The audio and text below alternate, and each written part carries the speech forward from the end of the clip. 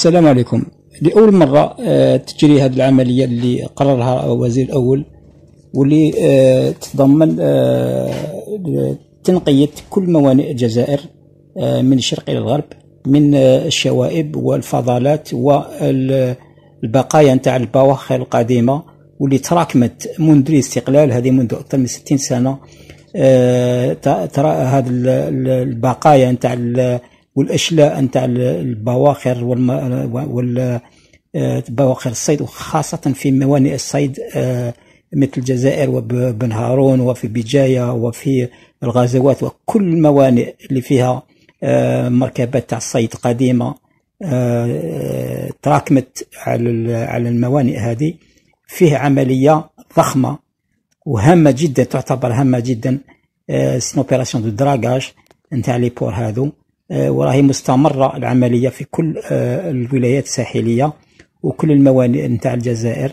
العملية نتاع تنقية هذه الموانئ من آه، كما قلنا من الشوائب والبقايا نتاع يعني المركبات يعني القديمة الزوارق القديمة والبواخر كل ما هو غير مستعمل سوف يتم رفعه من موانئ قلنا إذا عملية آه، جد إيجابية وقد يعني تنقي المظهر الغير لائق نتاع الموانئ نتاعنا اللي أصبح عندهم الرائحه والفوحة والكثير من الشوائب هذه وفي بعض الأحيان زبالة يعني خلينا نقولها بكل صراحة زبالة متراكمة على الموانئ حتى ولا الإنسان ما يقدرش يمشي فيها وهذه آه، بادرة خير إن شاء الله. آه، تتعمم وسوف يعني في أماكن مثل مدينة الجزائر العاصمة المفروض ميناء الصيد نتاع الميناء نتاع الصيد اللي يوقع في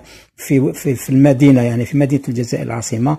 هذا المفروض يتنحى من المدينة ويصبح port de plaisance وين الناس تجي يكون فيها تكون فيها خدمات مقاهي مكان للتسلية مكان للاستراحة مكان لل لل يعني البروموناد الإنسان يجي يحوس يستريح مع الأولاد مع كذا مع العائلة. أفضل من من هذه البواخر تاع الصيد هذه اللي ما عندها حتى فائده لا تخدم المجتمع بل تخدم أصح... يعني مصالح ضيقة لأصحابها. وال... يعني يعني المفروض هذه الموانئ تروح. تخرج للمدن المجاورة وفيه موانئ كثيرة تاع الصيد في الموانئ المجاورة المفروض مدينة العاصمة خاصة العاصمة اللي عندها آه، تراث آه، معماري حضاري كبير يعني وعالمي المفروض الميناء نتاع الصيد نتاع العاصمة حتى الميناء نتاع التجارة الكبير هذاك المفروض كل هذه النشاطات هذه آه، تخرج من مدينة تاع الجزائر وتخلي الفضاءات هذه للمجتمع المدني وللمجتمع ككل أن يعني لوكيب ليسباس هذاك وتكون فيه خدمات ويكون فيه مناطق آه، تولي تتوسع المناطق السياحية وتنقص الضغط على على يعني السياح اللي يجوا تاع الجزائر والزوار اللي يجوا يوميا لمدينه تاع الجزائر تتوسع نحو الميناء ويكون فضاء آه، التنفس متنفس جديد للسكان وزائري مدينة الجزائر. إن شاء الله العملية هذه آه، تكمل حتى النهاية وتتنقى تتنقى كل الموانئ تاع الجزائر من هذه الشوائب والبقايا اللي تراكمت لمدة 60 سنة. والله ولات شوها كما يقولوا جيراننا المغاربة.